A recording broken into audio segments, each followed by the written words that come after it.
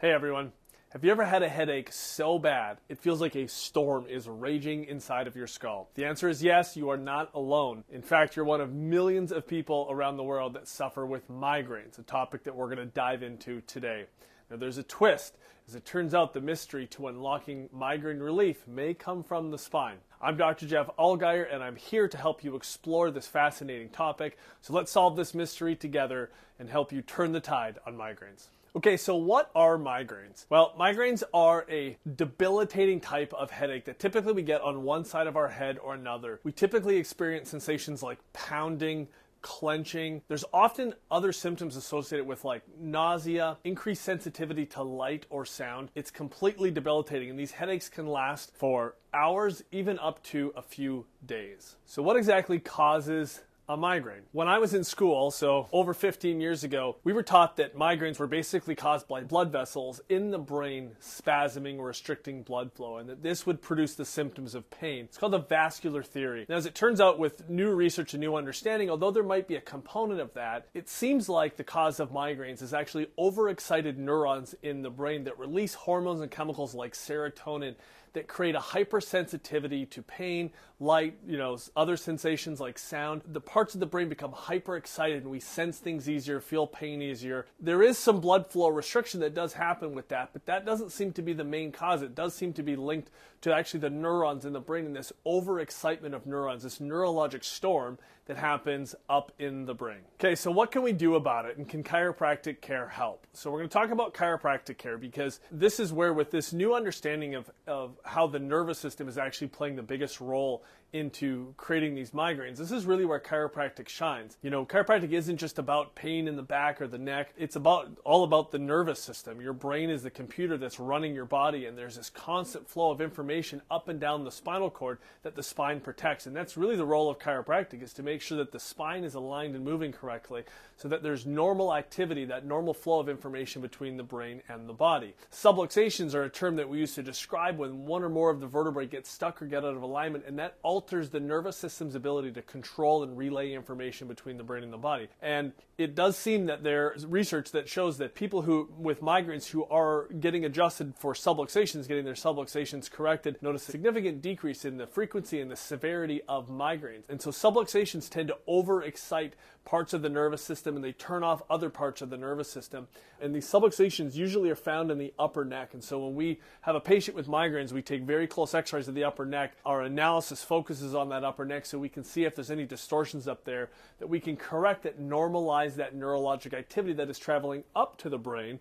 It's not just about stopping information coming down, it's even affects the information going up to the brain that may be a causative factor in creating an overexcited, you know, brain function that is now that we think is the cause of migraines. So, what else can be done to help with migraines? Well, again, because we understand that the nervous system seems to be the biggest factor here in creating migraines, an overexcited nerve system, we have to try and figure out are there lifestyle factors that are contributing or irritating the nervous system and maybe not solely causing, but at least exacerbating what's happening with the frequency of migraines. And this can be different for every person because we all respond to stress differently, but there are things like diet. We do know for sure that there's certain chemicals that people can or shouldn't eat that may excite the nervous system. Getting enough sleep at night. We absolutely know that when your nervous system, when we don't get enough sleep, the nervous system becomes irritated. We tend to shift into a fight or, fight or flight, and some people are really sensitive to this, and this can be a trigger uh, for migraines. There's even things like weather changes and, and pressure changes that these these are all things that can irritate the nervous system and can trigger migraines. So those are just a few things.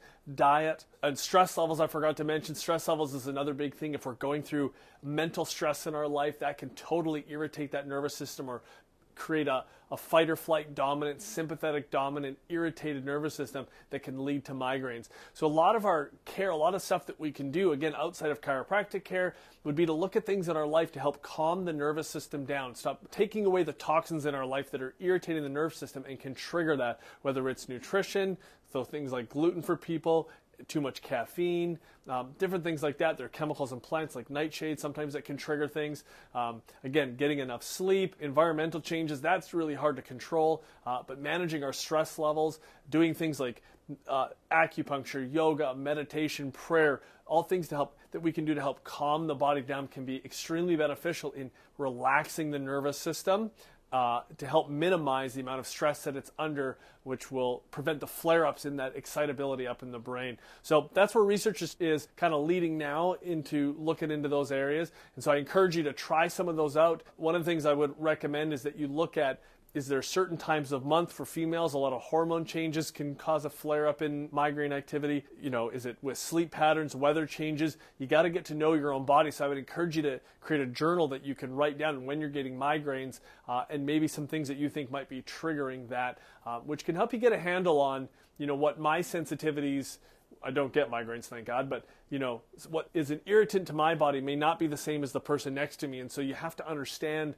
what those are and making sure that you're dealing with those that specific to you. It might work for someone else, but it might, you know, getting rid of gluten might not be your trigger, you know. So um, getting to know yourself and experimenting a little bit uh, would be a big thing. So in closing, if you are one of the millions of people around the world that deals with migraines, just know that you are not alone. And although this is a complex issue and there's a lot of factors, just know that you know, if you start to implement little things, consider chiropractic care as a part of your journey with this, not just for symptomatic relief of the headaches, but to get to that nerve system, the root cause, and help calm that nerve system down. And then pair that with lifestyle things that we talked about. Try and figure out where you're the weakest and start to make corrections with those lifestyle things and see how that goes to get to the root cause of this. I want to make sure that you're focusing on the right stuff so that you get the best results. As always, if you have any questions, reach out to us, let us know. Follow our videos, like our social media pages. We do these videos all the time. Uh, we're here to help you stay healthy, stay informed.